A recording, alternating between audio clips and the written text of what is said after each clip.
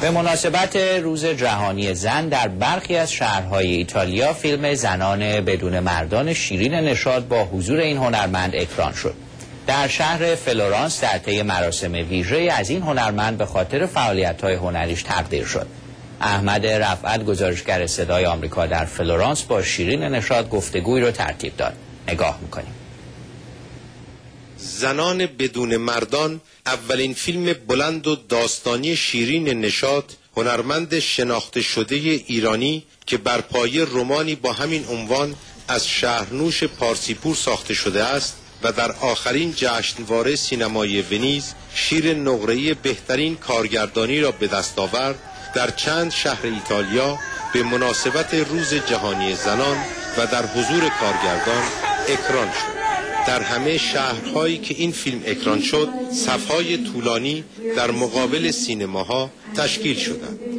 در فلورانس قبل از اکران فیلم شیرین نشاد با چند صد نفر از ایتالیایی های علاقمند به مسائل ایران و جامعه ایرانیان این شهر به گفتگو پرداخت.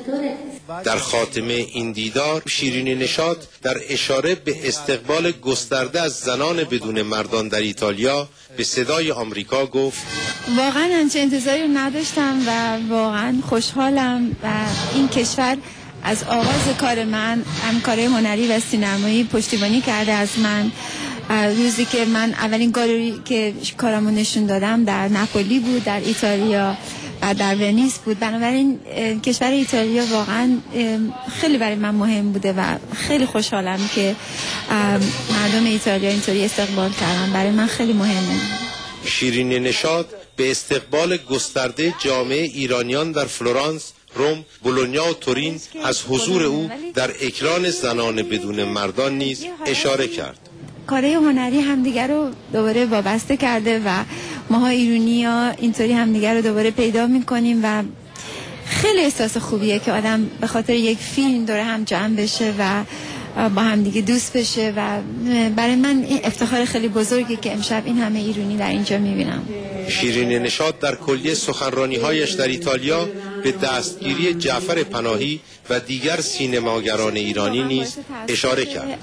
برای اینکه هیچ هنرمندی نباید در این موقعیتی باشه که نه بتونه کار کنه نه بتونه از کشور خارج بشه حالا در زندان باشه.